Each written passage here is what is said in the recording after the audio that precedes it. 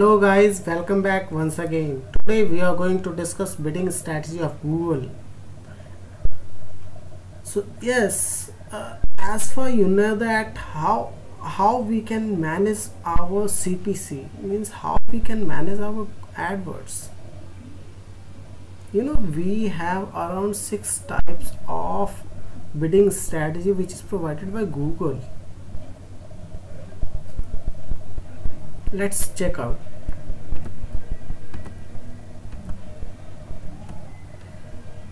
first one of this bidding strategy is enhanced CPC second one is target search page location third one is target CPA fourth one is target outranking share fifth one is maximize clicks fifth last one is return target return on ad spend which is also called ROAS which is one of the most important bidding strategy for us.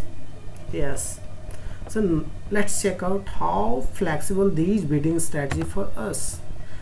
See we have around six bidding strategy as uh, before I had already told you. And we have around two search network which is display network and second one is search network. So let's check out which bidding strategy is suitable for which network if we are talking about first one that is enhanced CPC it is suitable for both these network that is search network as well as display network. But if we are talking about target search page location by CPC it will only help us on search network. It will not help us in display network. If we are talking about target CPA then it will help us on both these network that is search page network as well as display page network. But if we are talking about target outranking share then it will only help us in search network. It will not help us on display network. If we are talking about maximize clicks it will help us on both these network that is search network as well as display network. But if we are talking about target return on ad spend that is ROAS bidding strategy it will also help us on both these network that is search network as well as display network okay. So in my concern if uh, I am uh, deciding which bidding strategy is good for our ads it's target return on ad spend. Yes ROAS why it is benefit why it is good for us?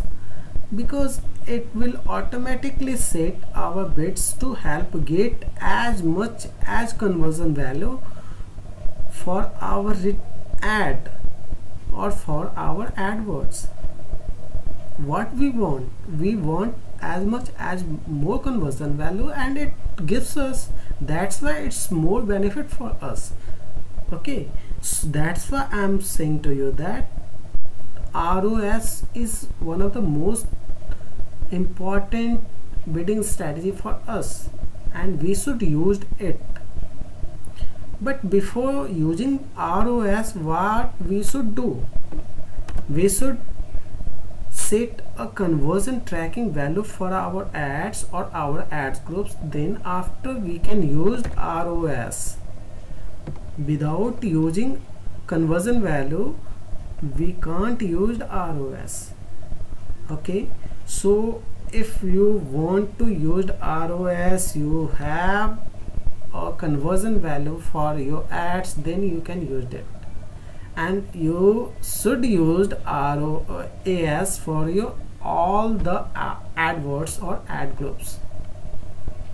Or if you are uh, running your ads it will help to get maximize value for your maximize conversion value for your ads. And what you want you want maximize conversion value. That's why we, uh, we should use it. Okay so thanks for watching this video. Hope you have enjoyed a lot. Do comment below.